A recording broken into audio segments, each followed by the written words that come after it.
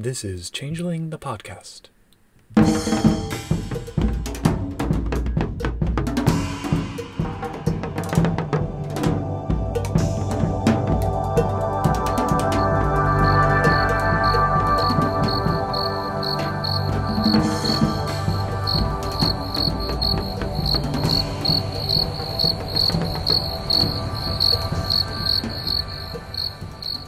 Greetings everyone, Pooka here, coming at you with a rather different mini-sode than usual. I'll be handling this one solo as I go through the sourcebook Le Monde des Ténèbres France, World of Darkness France, which was released by Ludis International at the start of 1997. This is a general World of Darkness book in French for France, and I put my French major to use in an attempt to at first translate and then, in the interest of time, merely summarize the Changeling content for the podcast. So I'll be going through the Changeling chapter in this book, as well as a few uh, bits of ancillary material, in an effort to see how much of this is borne out in C20. This is the book that the Morganed and the Korred originally came from, but I was curious to see how much of the other lore about France uh, was present. So we start with a general history of the Fae by a Sidhe-bard named Sir Cadfanan. He talks about the mythic age of the Tuatha giving way to banality, which pushed their children west, many of whom hid out in France's wilderness rather than setting sail across the sea from the coast of Brittany. We also hear about Le Pacte du Crépuscule, which was the Fae, the Mages, and the Garou forming an alliance to preserve the dreaming, pagan paradigms, and Gaia's balance from the encroaching Romans. They failed. So the Fae were driven deeper into hiding by the spread of Christianity, which brings us into Les Âges Sombres, the Dark Ages. The barbarian invasions of Europe enabled the rise of Fey realms in Brittany and the Black Forest, but the church corrupted many glades and possibly freeholds as well as trods. There is a note in the book that I think indicates that many of the Fey went unseelie, but it's a bit unclear. I'll also just point out at this point, I had not read uh, Changeling le Songe, which is the French Changeling the Dreaming, before reading this book, so figuring out some of the terms was uh, a learning process. The book does acknowledge that in medieval times there were a few bright spots of glamour. There were the troubadours of Toulouse, the cosmopolitan court of Provence that welcomed mages and fae, the heretical Cathars, who nevertheless had some progressive ideas about religion, and Eleanor of Aquitaine, who we've seen had an influence in vampire over the Toreador of the time. So all of that is followed by l'éclatement, which is the term for the shattering.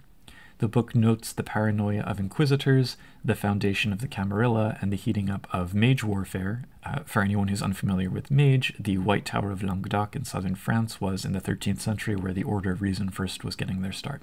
So all of this is a little more generalized than just abruptly saying, it was the Black Death, which I appreciated. Anyway, this history concludes by saying that the commoners became changelings, gathering around their balefires and preserving what they could of a country that was once rich in glamour. And then at this point, another chronicler jumps in. William de Combe, a poet, says that since the Renaissance, vampires and the technocracy in particular have made France into a, quote, centralized, rigid, and sclerotic state, in spite of the Revolution, the Age of Enlightenment, etc. They also really pick on Emile Zola here. I don't know if anyone's read Emile Zola, but I didn't think he deserved quite this much guff. In any case, um, it feels like a narrow view of banality and glamour, and because this was so comparatively early in Changeling's run, I think some of the diversification of those two forces had not really been established in the game line at this point. But it seems as though all of this also caused French Kithain to become overall more traditional and conservative, or at least that's the claim against which the author contrasts the 1920s, when post war art movements were like a mini resurgence of glamour in France, but unfortunately those didn't last long. So then, one more chronicler enters, described as a defeated member of the Saint-Malo commune. There are a lot of references to individuals, places, and events that come later in the chapter, which was a little bit confusing. So this chronicler talks about the demonstrations of 1968 as having the mark of the Fae, and the Bruja, interestingly, uh, there's a note, I think, that they set up freeholds in various educational spaces where anyone who entered walked out enchanted for the cause, and ultimately this was a failed revolution. There are repeated references to a totalitarian and all powerful monarch named Shail, which it wasn't clear who that was at this point, but I wondered if that was maybe the root of English language changeling saying that Neustria, the name for the Fey realm of France in uh, other changeling books, if this is the root of it being so uh, Sidhe dominated and conservative, there's an implication that he's like a lost one monarch that never went back to Arcadia and has exercised this sort of iron grip over France. Anyway, the king was holed up in his fortress in the mythically enchanted Brocéliande forest when the resurgence hit. The Accordance War in France pushed many Kithain into grumpdom or into becoming Dauntain. Others fled or died as martyrs for the commoner cause, and the fighting continued until the early 1980s when the nobles were bored of fighting and negotiated a peace. Maybe they also realized at that point they needed to focus on staving off banality as Arcadian Sidhe. And some of the commoner leaders were granted domains as a show of goodwill, but because the Sidhe are masters at politics, they still hold all of the true power. And that's the outlines of history. We then get into subdivisions of the realm, individual kingdoms within France, beginning with Le Royaume des Houles, which is the kingdom of the swells or the waves.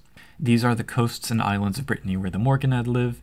The former capital of Is is lost beneath the waves, and now the kingdom is an ununifiable patchwork of communes founded by wilder revolutionaries. So, Is is a traditional Breton legend about a sunken city. You can find more information about that online. The height of its power was in the Dark Ages when it was the center of many trods that led to Arcadia and similar Fey realms, including Tirnanog, which is referenced, I think, as a dreaming realm elsewhere and not synonymous with Arcadia in the early first edition material, but it kind of opens the question of whether there are actually multiple versions of Arcadia. So the story presented here is pretty much adapted from one version of the legend, and the text does note that there are different versions. There was a super noble knight slash prince named Gradlon who had resisted the charms of his queen when he then met the fairy kingdom's queen, Ais, and a group of nine fae who lived offshore prophesied the shattering and the founding of a city ruled by a human and a fae together. It would be in the mortal world and the dreaming. From this came the dream of Is. Gradlon is sworn to secrecy about his fae lover, but then, mentions her, and that sets a whole chain of prophecy into motion. Ais comes to the king's court so that Gradlon can be released from his vows to follow her into the waves and thus into the dreaming. He returns years later dressed as a monarch with his supposed daughter, Daoud, and this is just Ais in disguise as a changeling. Eventually, their kingdom at Is sinks beneath the waves, with Gradlon being the sole human to escape. There's a red prince who convinced Daoud to sink the city's mortal side and create a lost one freehold out of it, the Red Prince is implied in some versions of the story to be the devil, but there's a lot here. Basically, it's an anything you want it to be dream realm. And there's also references to the Chemin d'Ais, which are the, the paths of Ais. There are these mysterious ley line things, which I guess are supposed to correspond to the lines of megaliths that crisscross Brittany. Maybe they're trods as well. So the kingdom has fractured since Is disappeared, and now it's this disunified group of fiefs.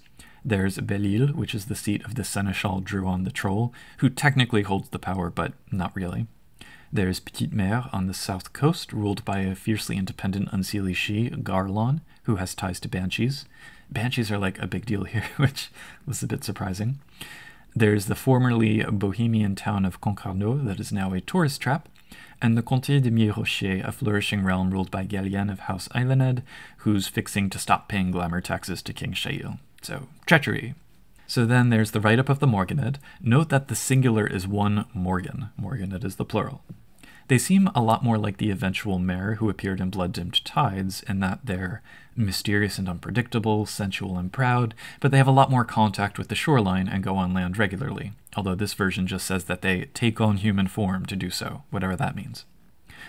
They're similar to the C20 version in that they're associated with dreams of the ocean's wonder, but rather than fight against pollution, here they're annoyed with humans because of tourism and property speculation. The suggested professions for them, which I don't believe was in the C20 write up, include sailors, lighthouse keepers, hermits, dock workers, and more. In terms of birthrights and frailty, the first birthright is a minus 2 difficulty to all rolls in the water, not just dexterity as specified in C20, or at least I didn't see the word dexterité in there. Their Song of the Sea pretty much does the same siren thing, and then their frailty linked to the sea has a mysterious note that if the Morgan has no access to water whatsoever, they lose two points of glamour. Not sure whether that's temporary or permanent or how often or what that's supposed to mean, but there it is. Then we have information about Le Cercle des Insurgés Disparus, the Circle of Disappeared Insurgents, and this is an oath circle set against the backdrop of French university protests. They're all about keeping up the counterculture in the face of academic banality, and I'm all for that, but the writing here has like Les Miserables levels of pathos, totally speaking. The Oath Circle members interestingly show their mortal name, then their fey name. They include Auriel, the Gwydion leader, Sadok, his troll squire, Auriel's cousin, Evian of House Fiona, and the knocker Eflam, a neo situationist iconoclast, which is a concept that could only be in this book about France. Naturally, they're all wilders and students on the campus at Rennes. Their freehold is a hidden room on campus used by revolutionary students over the decades. They have a satyr grump bookkeeper ally named Yeris, and Mike, their Dauntain syndicalist nemesis. I strongly suspect this was all from a game the authors ran in college or something, but Anyway, they have a whole built in history and relationship web thing if a reader would want to use them. So then we have Les Domaines de Songe, the realms of dream. We're told that unlike Concordia, France is steeped in banality thanks to the presence of vampires and technocrats, and the king Shael holds things in equilibrium the best he can. He rules from the Royaume des Premiers Arbres, which is centered on Brocéliande, and I really love the realm of Brittany in this book because I guess it's Celtic and therefore tied to Changeling.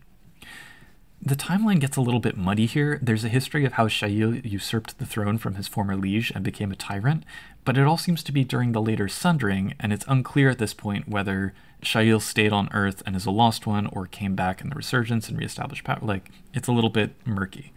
But in any case, we get a travelogue from a Concordian ambassador, which is an excuse to lead us through various parts of the kingdom. He remarks how uncomfortable he is because of the lack of glamour, and he's annoyed because of the king's envoy being a pooka, until he gets to Brocéliande where everything is just steeped in glamour. So it definitely sounds like a lost one freehold to me, especially when the ambassador talks about how the last of the Korred are hiding there, vulnerable to banality. Note that one of them also has been knighted as a member of Maison Queville, which is House Queville. Not sure what the full story is, but it seems like it's an offshoot of Liam later on, so maybe someone's homebrew. I guess you could cast that as a banner house in C20 terms. And then we get the write up for the Korred. Like the Morganed, Korred is plural, and the singular is Korr with two R's. I'm rolling the R there, I don't know that I actually need to. They're pretty similar to their presentation in C20, although they look more like garden gnomes here and less like C20's Furby Mogwai crossbreed monstrosity. We're told nothing is more important to a core than their word, and that they're the Sidhe's dream subjects because they keep to old traditions, all of which they can remember. They're sort of like Boggans crossed with Sluagh, and they can't resist learning secrets, which they value more than dross. Their testament birthright is almost the same as in C20. Their balance birthright formerly just kept them out of Bedlam at the storyteller's discretion, and then with the truth frailty, they needed to roll willpower difficulty 8 to lie, even indirectly. And the ones presented here also have the Arcadian Sidhe frailties, since they're by default assumed to be members of Shael's court hiding from banality. It does point out, though, the storyteller can waive this to have uh, incarnated changeling Korred if desired. Then we get more information about the other realms of France, the official realms. So the Royaume de Bretagne is considered the leader, with uh, Royaume de Premiers Arbres, Shael's realm, as the leader among leaders. So then we get more about the other realms. Uh, all of the ones I just listed are part of Bretagne in the west. Confusingly, Royaume de Saules, the Kingdom of Willows, is also mentioned here, and they do say ruled by Milge, so I don't know if the Kingdom of Willows temporarily was relocated to Brittany, or the implication is just that Milge is their ally somehow. There are also five duchies that are Shael's vassals scattered around France. There's Arches, which is Paris, Brume, which is the Jura Mountains, Terre Chaude, which is Poitou in the south central part, Embrun, which is Landes on the western coast, and Cimes, which is the Alps. Other kingdoms around France are based in Flanders on the Belgian border, the Basque country on the Spanish border, Alsace and Lorraine on the German border, Normandy on the English Channel, and Auvergne in the south, which has the interesting quote, the White Queen rules in the kingdom of the Lac du Boucher, the last of the region. So, mysterious statement and Chartres, which is ruled by Ichu. It's interesting that the southeast coast is kind of unrepresented here, like the French Riviera. and there's also all these references to people and places I don't recognize, but also can't find anything about on the internet, so. And there's a lot of political information that reiterates the same stuff. Shail is a tyrant, and Bretagne is ununifiable, etc.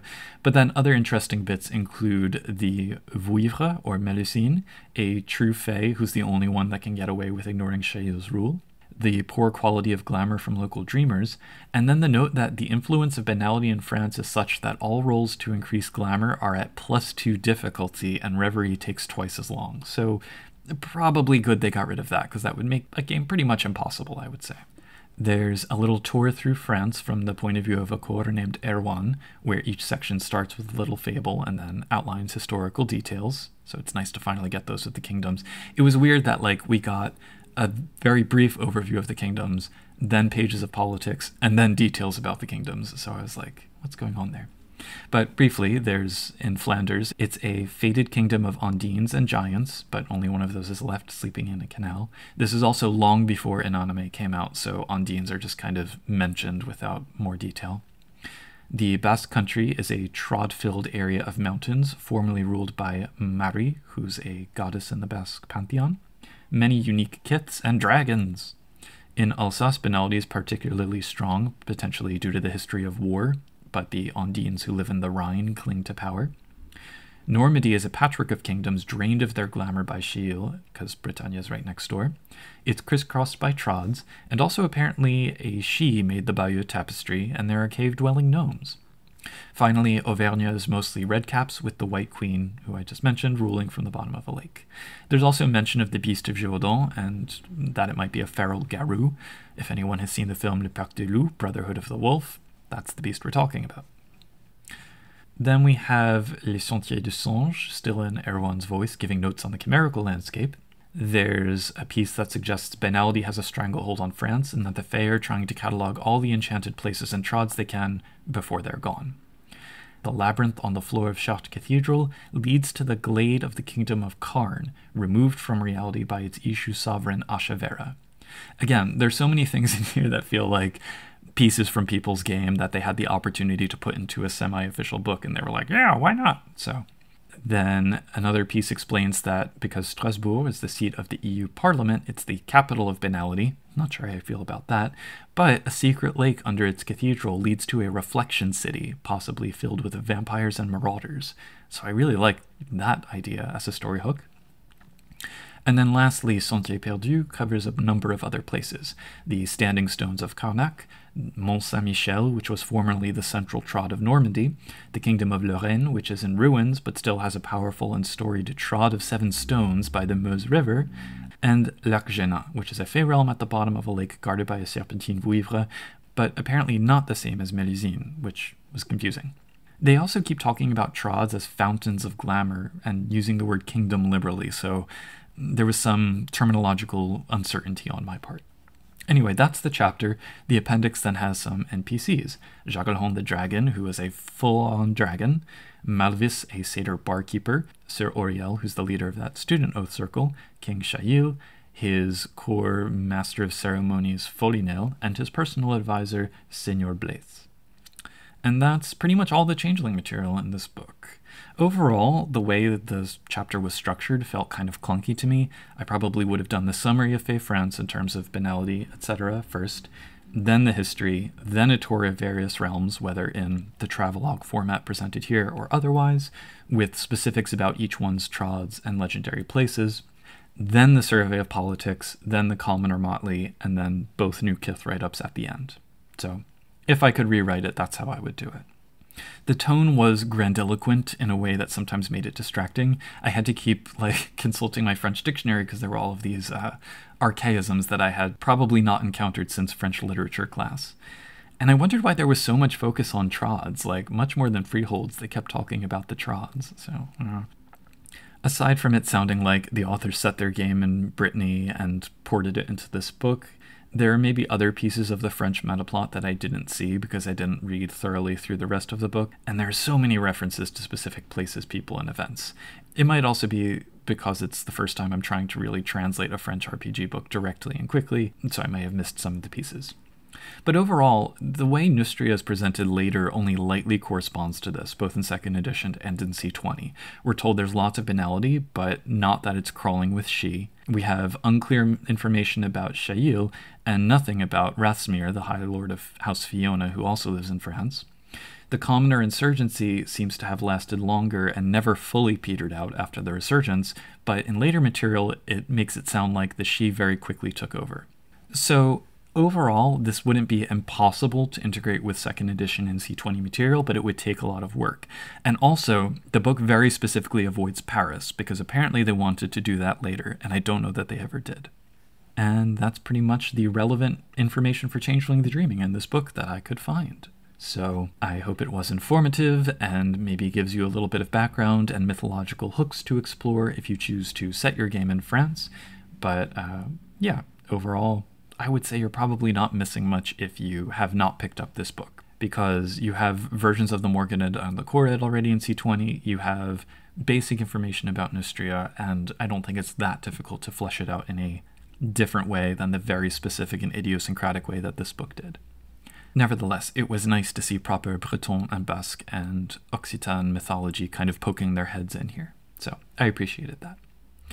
That's about all for this mini-sode. Merci à tous d'avoir écouté. Je suis encore le Puka et jusqu'à la prochaine fois, continuez à rêver.